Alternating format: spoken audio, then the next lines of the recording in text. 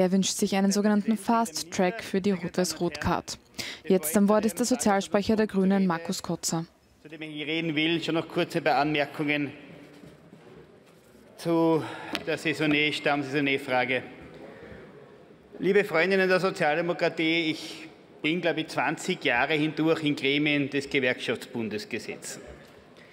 Und ich habe dort sehr viel erlebt in Zeiten großer Koalitionen, wo die Sozialdemokratie an der Regierung war, wo Sachen, die heute von dieser Regierung beschlossen wurden, damals keiner Kommentierung auch nur ansatzweise würdig waren, wo aber heute bei allem, was hier passiert, der Teufel an die Wand gemalt wird.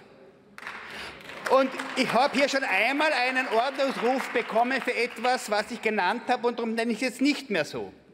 Aber diese Stammsaisonregelung, die wir jetzt umsetzen, ist ziemlich wortident im Jahr 2012 umgesetzt worden.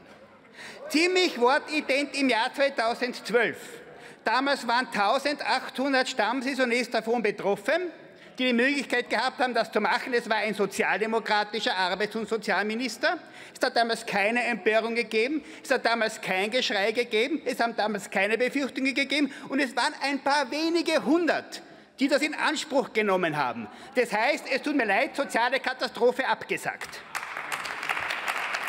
Im Gegenteil, das, was hier passiert, ist eine Stärkung von genau diesen Arbeitnehmerinnen, die vermutlich zu denjenigen gehen, die die geringsten Rechte in diesem Land haben, weil sie endlich ihren Job auswählen können, ihren Arbeitgeber aussuchen können, noch in der gleichen Branche, die die besseren Arbeitsbedingungen und die besseren Einkommen auch anbieten. Und ich sage euch ganz ehrlich, ich bin für jede Unterstützung und für die Stärkung von jedem Arbeitnehmer und Arbeitnehmerin im Recht, egal ob sie aus dem Inland oder Ausland kommen.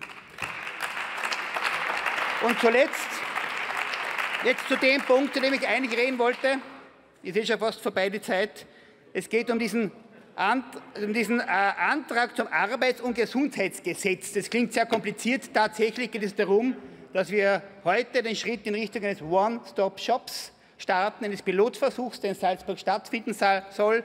Was passiert hier? Menschen, die es am Arbeitsmarkt schwer haben, die vor allem in Problemlagen sind, die ihnen die Arbeitsaufnahme erschweren. Das kann ein familiäres Problem sein, das kann ein Schuldenproblem sein, das kann ein psychisches Problem sein, künftig an einem Ort, an einem Platz entsprechende Unterstützung, Beratung und Hilfe bei der Bewältigung ihrer Probleme bekommen, damit es einen leichteren Zugang und eine leichtere Möglichkeit gibt, möglichst rasch wieder in einen Arbeits- und Erwerbsprozess zu kommen.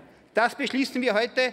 Wir schaffen die rechtlichen Möglichkeiten, dass das Bundesministerium für Arbeit, das Bundesministerium für Soziales und die BVA die entsprechenden äh, Einrichtungen finanzieren können, diesen One-Stop-Shop. Der Pilot wird in Salzburg starten. Wir sind sehr gespannt und wir sind sicher, es wird eine deutliche Verbesserung der sozialen Situation von Arbeitssuchenden, die Schwierigkeiten haben, bringen. Danke. Sagt Markus Kotzer von den Grünen, er stellt denn die sogenannten One-Stop-Shops für Personen vor, die Probleme haben, eine Arbeit zu finden. Bei dem Pilotprojekt, das in Salzburg starten soll, sollen Menschen an einem Ort Unterstützung, Beratung und Hilfe bekommen.